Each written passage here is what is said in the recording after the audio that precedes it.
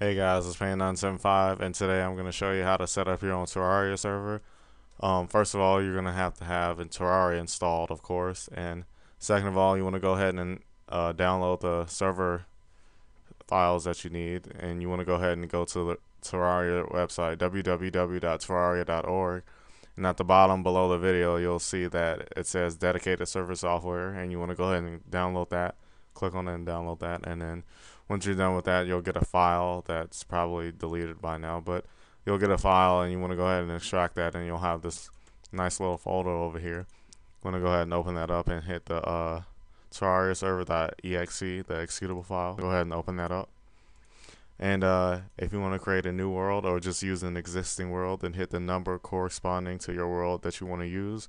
Otherwise, just hit N and then hit enter.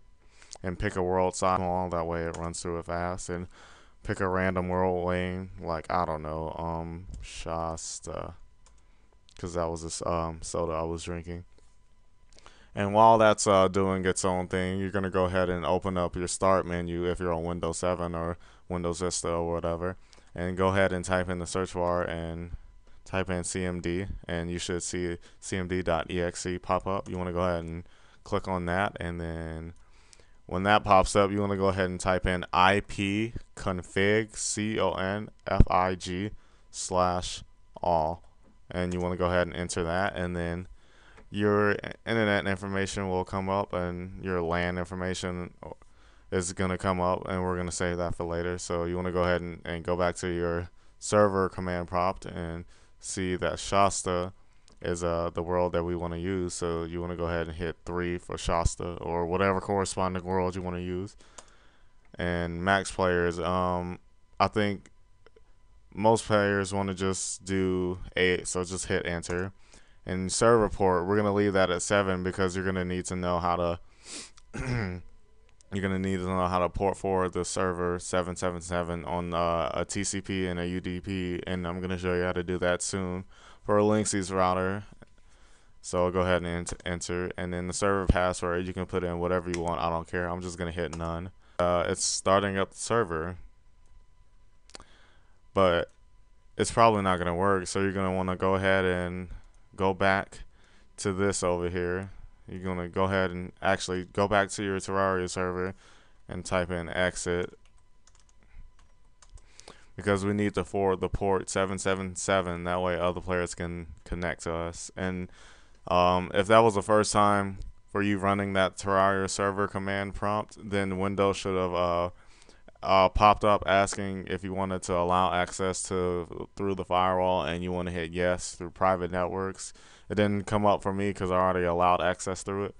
But you want to go ahead and go back to your um to your IP configuration and you want to look for something that says default gateway, you want to go ahead and memorize this number and go ahead and open up your internet browser and type in your default gateway, which would be 192.168.1.1 for Linksys users. And then it's going to be asking you for a username and password. The default username and password for all Linksys routers, um, I believe, is a blank username and the password is admin. You want to go ahead and hit OK.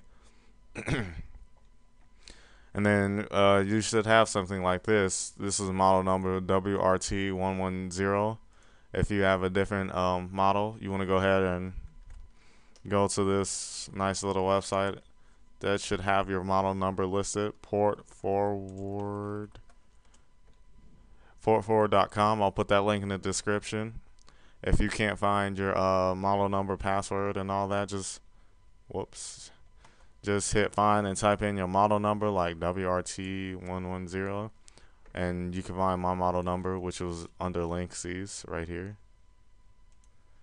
And there's a guide on how to actually port forward something. Uh, skip this advertisement. Um, and it actually tells you the game you want to port forward as well, which will be Terraria. So hit Control F if you don't want to go through this whole list. And this little thing should pop up at the bottom and just type in Terraria. Uh, I don't know how to spell it. R E. Oh, whatever. We can just search for it. Ter. Ter. Hmm. But whatever. You just find a game that you want to find, and uh, it's gonna show you a guide on how to port forward that um port that you need to forward. Like PS3, if you want to forward that, that way you want to host games on Mortal Kombat versus DC Universe, a horrible game that you shouldn't buy. But anyways, you wanna uh, it's gonna show you how to do that. But I'm gonna show you how to do that right now. So if you want a Linksys router WRT1110, that's a model number, same as mine. You want to go ahead and go to Applications and Gaming, and you can name this application name to whatever you want. Make sure you're under the single port forwarding tab, and this is I've already had this set up right here because I've um, I host a Terraria server. and you want to go ahead and put in the external port is 7777 and the same for the internal port and make sure the protocol is on both. Some routers only allow you to do TCP or UDP, and to pick between the two, just do TCP. But since my router is um, amazing and all that, just go ahead and hit both. And then you want to make sure you keep this open because you need to know that um, your LAN address, which would be your uh, IP to your local internet, which would be like I don't know somewhere around the range. Well, if you want to find that out on uh, a Linksys router, you go ahead and hit status and then local network and DHCP client table, which will show you the computers that are all connected to the um, router right now. And mine is 192.168.1.102. And uh, you want to memorize that and go back to applications and gaming. Then to plug that in right here and make sure that's enabled. And you want to hit save settings. And if it doesn't work for some reason, after you hit save settings, you want to make sure you restart your router and make sure that's everything is going up and good. And now you want to start up Terraria. Oh, another thing, you need to know your um IP address. So just go to Google and type in I don't know what's my IP Oh, and if you type it into Google, it should pop up right here, which is pretty useful. I'm gonna have to edit that out in Vegas, but whatever. Yeah, you copied your IP. That way you know what the IP you need to type in for Terraria. And I'll see you guys over in Terraria how to connect to the server. Alright guys, make sure you have your server command prompt up running and your server should be going good. You want to go ahead and migrate over to multiplayer and join and pick your character and type in your IP address. Since my IP address is already in there, I'm going to go ahead and hit accept. And the server port is 7777 because that is the port we forwarded to. And we found the server and we're connecting to it right now. And this should work because you're connecting to yourself anyways. And other pay other players should be able to connect with you while you're playing this game. And uh, I hope you guys found this tutorial use useful. And if you guys need any help, just message me on YouTube or however you need to message me. And this is Pain975, and I'll catch you guys later.